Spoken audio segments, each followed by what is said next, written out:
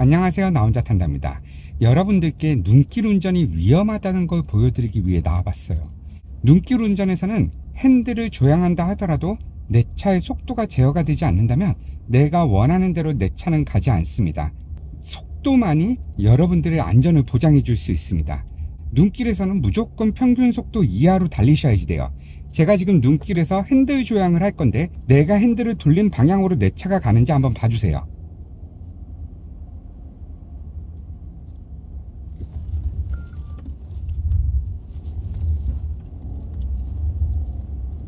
자 어때요?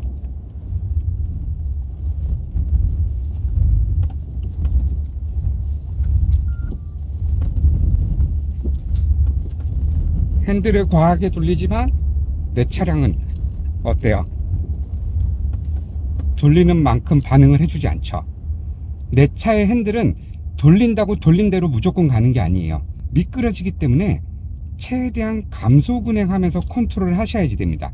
브레이크를 밟을 때도 마찬가지예요. 브레이크를 강하게 누른다고 내 차가 그 자리에서 절대 멈추는 게 아니에요. 오히려 더 많이 미끄러질 수 있기 때문에 브레이크도 서서히 부드럽게 눌러 주셔야지 됩니다. 아시겠죠? 정말 생각보다 많이 차가 미끄러지죠. 그죠? 차량이 제어가 안 되는 상태가 많이 와요. 눈길에서는.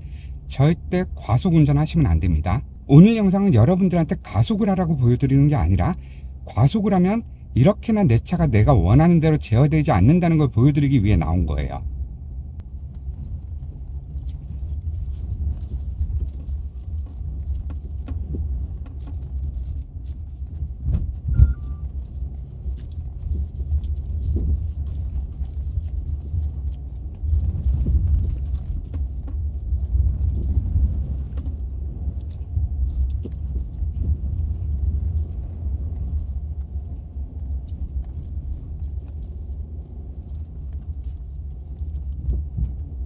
보이죠 여러분들?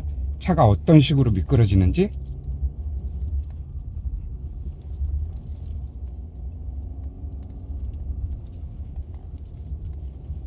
차가 막 옆으로 흔들리죠?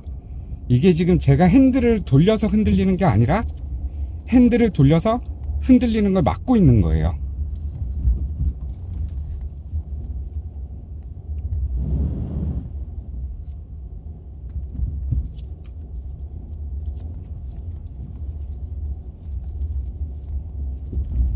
핸들을 돌리는데도 불구하고 차가 앞으로 그대로 나가죠. 그죠? 이렇게 컨트롤 해야지만 여러분들이 원하는 길로 가지는 겁니다.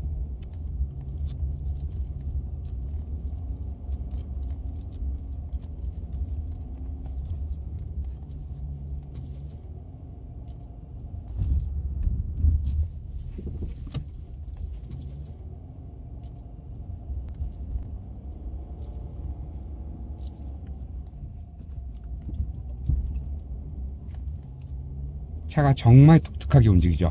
차가 막 옆으로 가는 것 같아요. 내리막이에요. 브레이크 한번 밟아볼까요? 어떻게 되나?